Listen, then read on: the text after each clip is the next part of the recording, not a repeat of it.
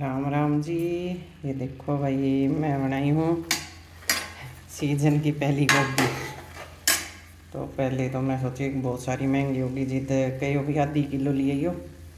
लेकिन, मैं इतनी महँगी को नहीं अब की बार पचास रुपये किलो ही है गोभी। देखो, मैं कर लिया है मैं नमक डाल के।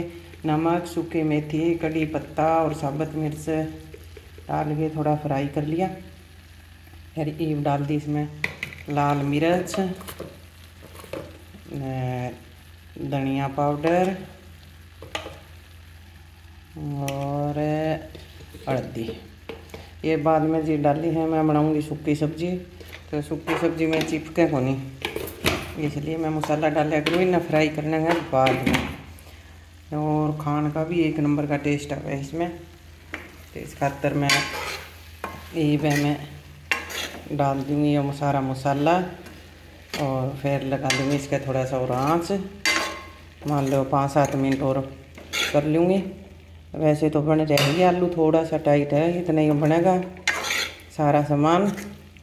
तो इतना सब्ज़ी बन के तैयार हो जाएगी। थोड़ा डालना तो मैंने मैगी मसाला था, ताकि थोड़ी चटपटी हो जाए, क्योंकि वो भी फिक्की हो है।